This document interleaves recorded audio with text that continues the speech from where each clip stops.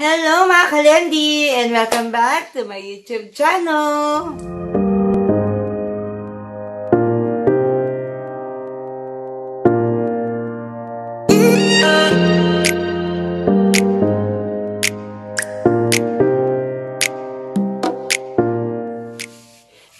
For today's vlog mga kalendi, tayo po ay muling gagala. Dito lang yan sa hashtag Gala ni Eloy Under the Sun. So mga kalendi, saan tayo pupunta? Ayan, so bibisitahin natin at pupuntahan yung isang lugar na nagiging sikat or sumisikat through social media. Ayan, nagba-viral siya sa Facebook, Messenger, YouTube, and Instagram. So mga kalendi, tayo po ay pupunta sa Patungan Beach Resort located in Cavite. And on our way, going there at that beach resort, syempre hindi po pwedeng hindi natin madaanan itong sumisikat rin na lugar na dinanarayo naman ng mga riders dahil siguro sa daanan going doon sa particular place na yun, which is the Kaibiyang or Kaibiyang Tunnel. Ayan, so mga kaledi, tara, samahan ninyo akong gumala dito po sa hashtag Gala ni Eloy under. And of course mga kalendi, syempre, ready na po ang aking backpack.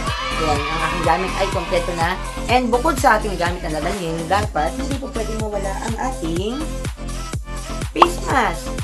Ayan, syempre para po maging sigurado tayong ligtas sa pandemya yung nangyayari ngayon sa atin. At bukod sa face mask, hindi rin po pwede mawala ang face shield, which is also required for traveling.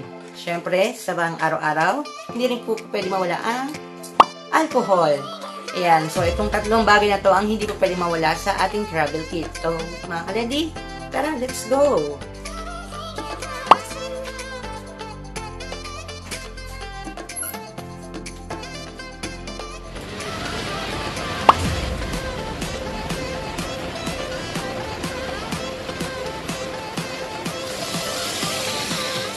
Hello mga kalendi! Hello mga kalabs! Ayan, so right now I'm with my best friend. Hello! And, and right now we are already here at Cavite, particularly in Patungan Exit, Sapang Patungan Exit. Ayan, so from here, sasakay po kami ng Tricycle! tricycle papunta po dun sa Patungan Beach na aming pupuntahan. Truthful. Ayan, so mga kalendi, standby, and tara, samahan nyo kami pumunta doon. Go!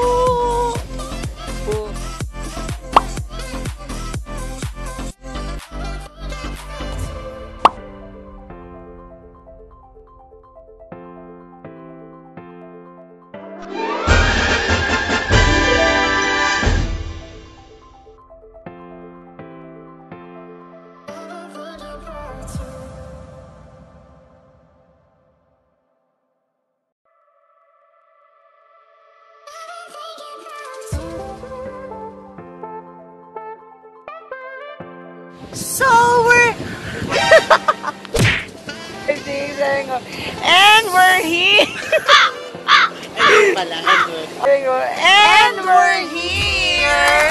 Andito na po kami ngayon sa Patungan Beach. Ayan, but sad to say, hindi masyadong maganda ang panahon. Humaambon. But still, we're going to enjoy the day here in Patungan Beach. Ayan, medyo mapagpa siya.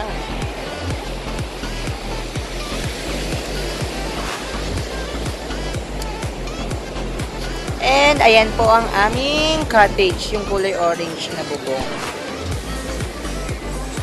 Ayan, so mga kalandi, welcome back again. So, eto po ulit ang Putungan Beach. So, mga kalandi, if you're planning to come here and visit Patungan Beach, ayan, so budget friendly naman siya. Yung mga cottages here nag-range ng 1,000 to 3,000 overnight use. And syempre, may kasama na rin siyang kwarto. So, kung ilan kayo sa family ninyo or sa group ninyo, okay naman yon So, wala naman silang kaso about on. There's no big deal about the numbers of person in your group as long as you will rent the particular cottage.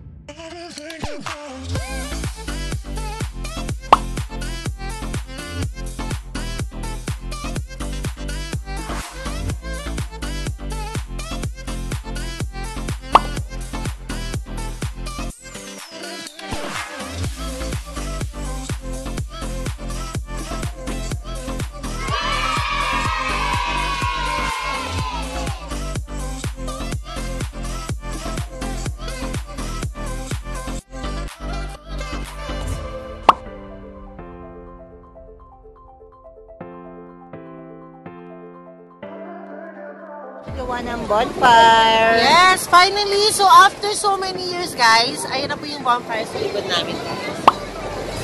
Sawadik ka! Kailangan din talaga siya.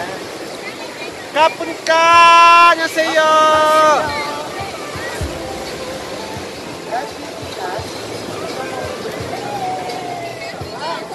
Ayan, picture taking at the bonfire.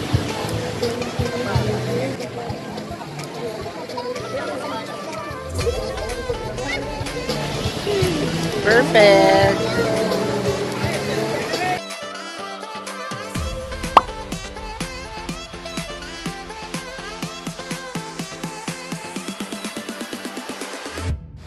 Good morning mga kalendi and it is day 2 here in Patungan Beach. So for today, our group decided na mag-island hopping kaya lang medyo hindi maganda ang panahon pa din, maalon. Kaya yung island hopping na uwi sa island hopping. Ayan. So we're going to enjoy the day na lang. Mamaya pupunta tayo dun sa isa sa pinupunta talaga dito which is yung mga batuhan. And for picture taking. Ayan, maglakad-lakad tayo. And let's enjoy the Patungan Beach. So, pupuntahan natin for today yung isa sa mga spot here kung saan maganda siya for picture taking kasi nga syempre instagramable pang post sa Facebook and also syempre pang Twitter na din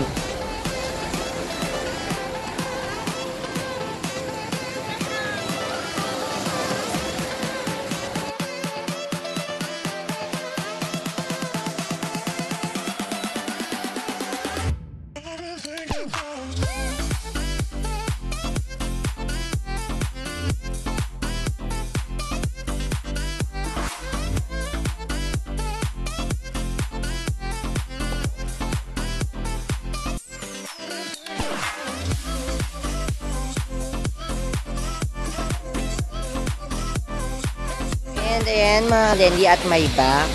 Ito yung isa sa mga spot here in Patungan Beach na pinupuntahan din talaga for picture taking. Kasi nga very Instagrammable pagka nag-picture take ka dyan. Siyempre yung hampas ng alon dun sa mga bato-bato. Ayan, kaya kung mapapansin nyo ang daming tao, they are taking picture syempre.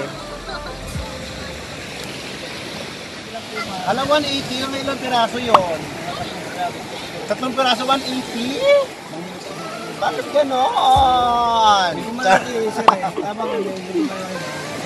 Ala, 180, 180, so 300. O, pag anim na piraso. Sige nga, kuya, patry.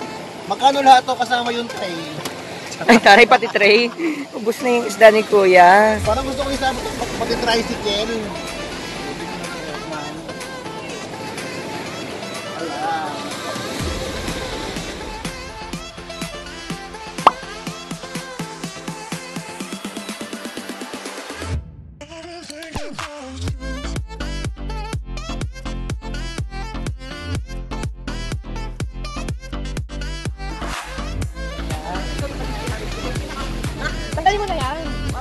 Oh, di ba? Tak. Hmm. Tambok na. Hanggang tinudol.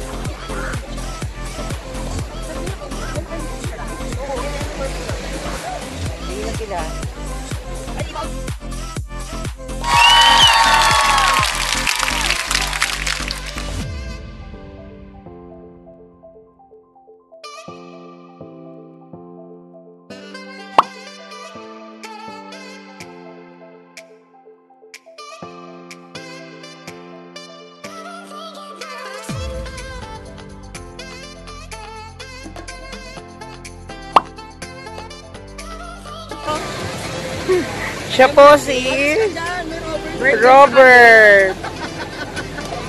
Birthday sa kayong date na matay. Ayan. December 20. Meet Robert. Robert Catamio Rosales Alawi.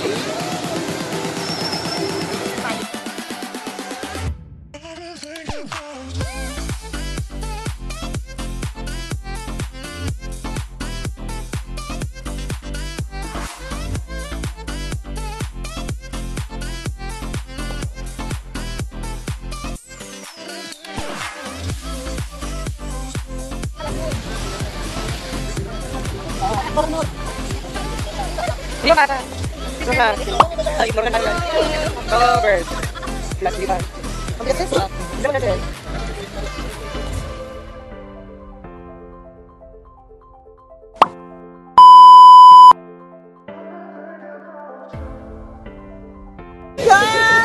Kaya mo yan. Wait lang, totoo talaga mabigat. Kaya mo yan, Seth. Muling pagsiam, umangon mula sa mukha. Ulong first. Naghula sa lupa. Mukha pa rin yung lupa. Pati yung mukha, tapakan nyo. Talaga talaga tinapan ako sa British pa yun. Tapakan nyo yung mukha. Ayan o. Yan.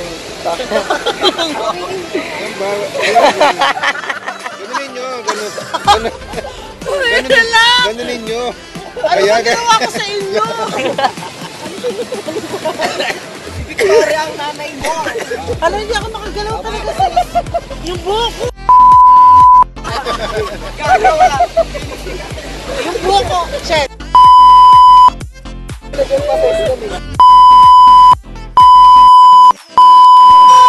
Gago ka, ang dami kong iyan. Lagi ko palang laga.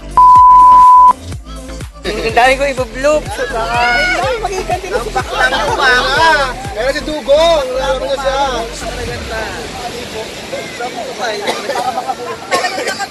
Ah! Gagawin ko talaga matanggal!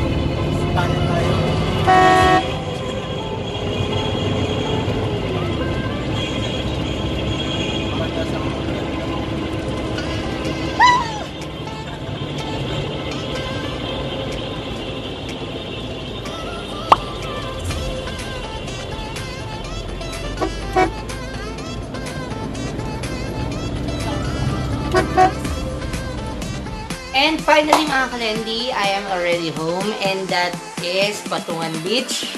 Ayan, so although hindi siya white sand but still maganda pa rin naman yung lugar, pino yung buhangin at higit sa lahat, malinis yung dagat, walang mga lumulutang na basura. And a must visit place here in our country, Philippines. Ayun, pagod. Pero mawawala yung pagod mo naman because of the memories and enjoyment na nangyari in this travel. And that is normal. Every travel naman talaga is very tiring. Pero worth it naman pagka nandun ka na sa lugar na yun at nabisita mo na yung particular place. So, everyone mga kalendi, please like and share this video. And sa mga hindi pa po napag-subscribe, please subscribe and don't forget to hit the notification bell para po ma-notify ko kayo on my next vlog. So, dito lang po yan sa hashtag gala ni Eloy under the sun. So, everyone mga kalendi, again, this is Eloy. Bye-bye!